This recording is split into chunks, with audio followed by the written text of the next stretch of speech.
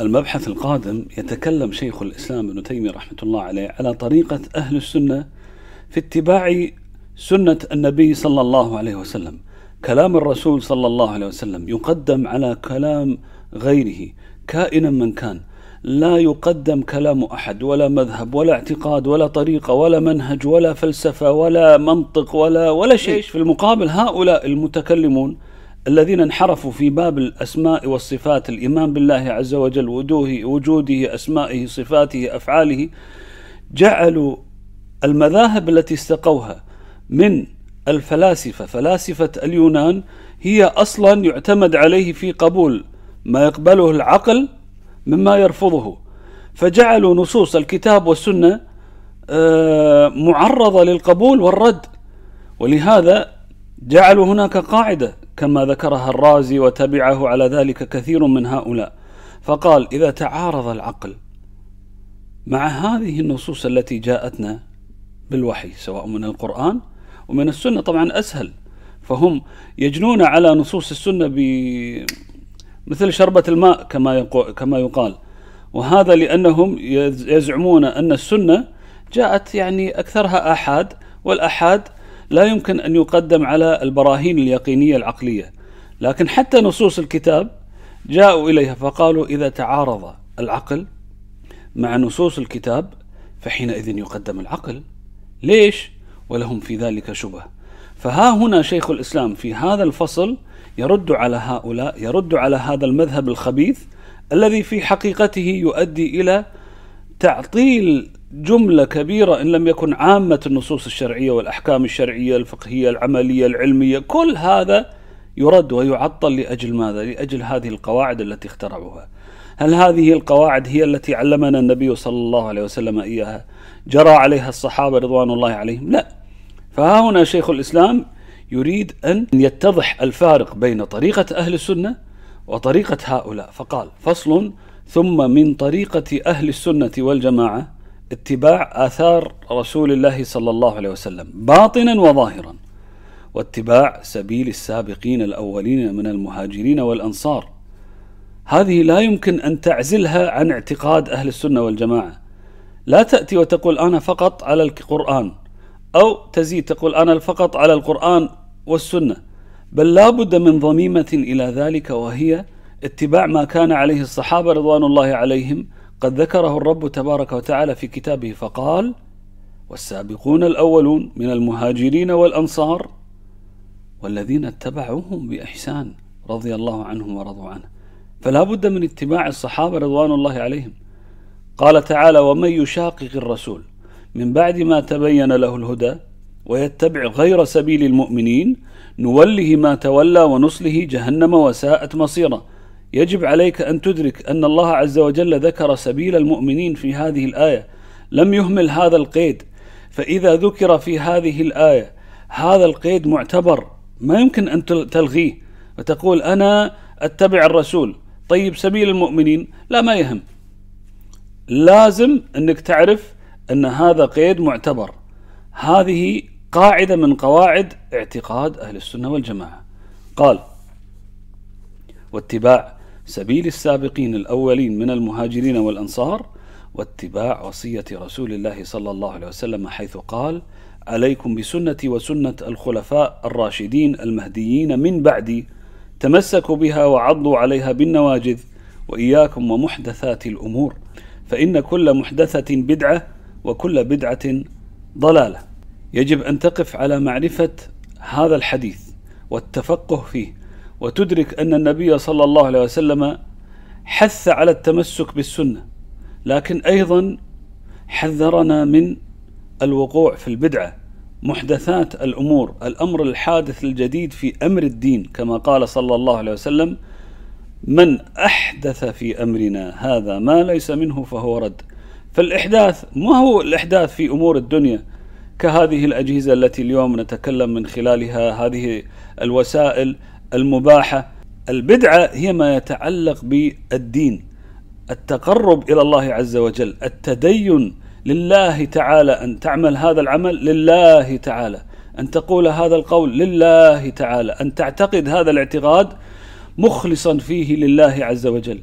فإذا هذا الاعتقاد أو هذا القول أو هذا العمل لم تكن عليه آه، أدلة واضحة من الكتاب والسنة وجرى عليها الصح عمل الصحابة رضوان الله عليهم فحينئذ لا خير فيها. مولد نبوي تريد أن تسميه محبة للرسول صلى الله عليه وسلم تريد أن تسميه آه، تنزيه للرب تبارك وتعالى فلا تصفه بما وصف الله عز وجل به نفسه في كتابه وعلى سنة رسوله صلى الله عليه وسلم.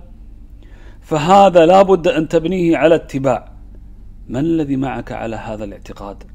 من الذي قال هذا الاعتقاد بأن تصرف نصوص الكتاب والسنة إلى معنى مرجوح لقرينة عقلية أنت ابتكرتها أو أخذتها من فلاسفة اليونان؟ من الذي عليه هذا الأمر؟ حينئذ يجب أن تعرف. هل قال الصحابة رضوان الله عليهم أنه ما تعارضت نصوص مع العقل فحينئذ إما أنك تفوضها فتقول لا, لا أحد يعلم ما في معناها.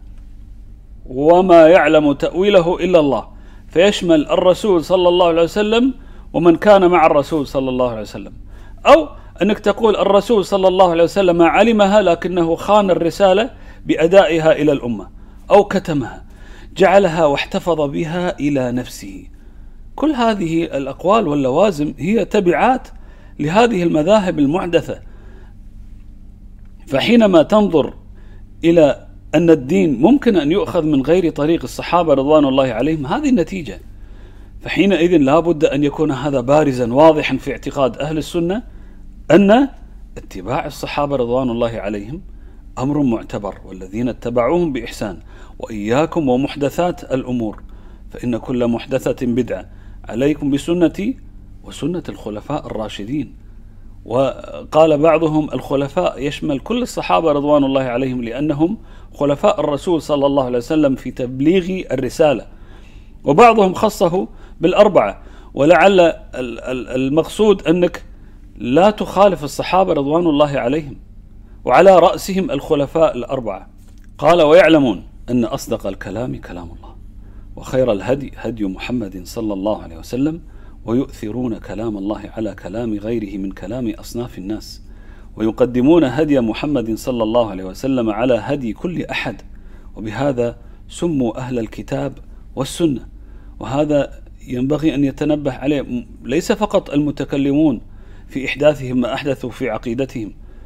بل من دونهم بل من كل من كان عنده انحراف انحراف عملي انحراف كالمتصوفة والمتصوفة أجناس وأصناف ومراتب الغلاة أهل وحدة الوجود أتباع ابن عربي أتباع الفصوصية أتباع الحل الحلاجية أتباع ابن فارض بن سبعين نحو هؤلاء. كل هؤلاء عندهم انحرافات منها ما يبلغ إلى الإلحاد والكفر والزندقة ومنها ما يبلغ إلى مخالفة الرسول صلى الله عليه وسلم فيما هو دون ذلك مما لا يخرج من الملة. لكن كل هؤلاء لا بد أن يكون واضحا عندهم مقدما عندهم قاعدة عظيمة أن هدي الرسول صلى الله عليه وسلم هو الذي ينبغي أن نتبعه. وخير دليل على ما كان عليه النبي صلى الله عليه وسلم اتباع الصحابة رضوان الله عليهم اتباع السلف الذين حث على اتباعهم النبي صلى الله عليه وسلم وأثنى عليهم فقال خير القرون قرني ثم الذين يلونهم ثم الذين يلونهم. فهؤلاء هم أهل السنة. ما يجعلون أحدا قدوة من دون الرسول صلى الله عليه وسلم.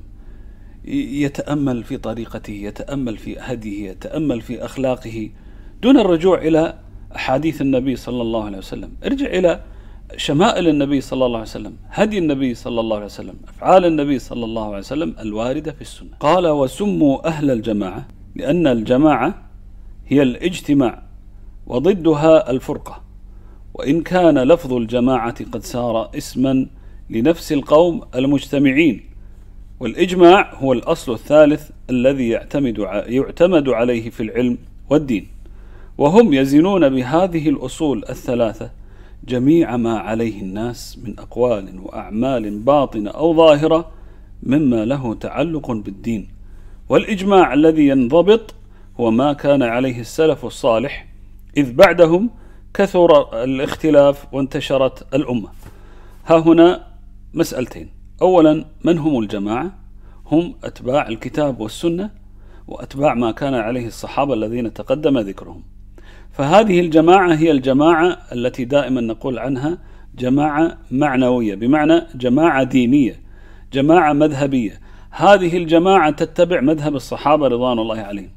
وهناك جماعة أخرى وهي الجماعة الذين يجتمعون بالأبدان وهي جماعة الإمام التي جاء ذكرها في كثير من النصوص حيث يأمر النبي صلى الله عليه وسلم باتباع أو بطاعة الأمير وعدم الخروج عليه بالسمع والطاعة له ويقرن ذلك بالأمر بالجماعة. فهذه جماعة الإمام بأنك لا تخرج عليهم لا تحل لا تستحل دماءهم لا تسفك دماءهم لا تستحل الخروج عليهم إلى نحو ذلك. فهذه هي الجماعة الثانية.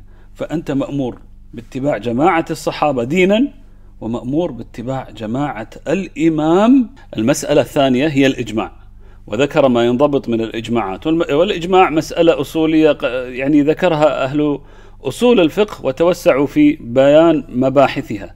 لكن المقصد أنك تعرف أنك تحاكم الناس إلى الكتاب والسنة والإجماع الذي كان عليه الصحابة رضوان الله عليهم. لا تتجاوز ذلك. فحينئذ ممكن أن تحكم هذا بدعة هذا سنة إلى آخره.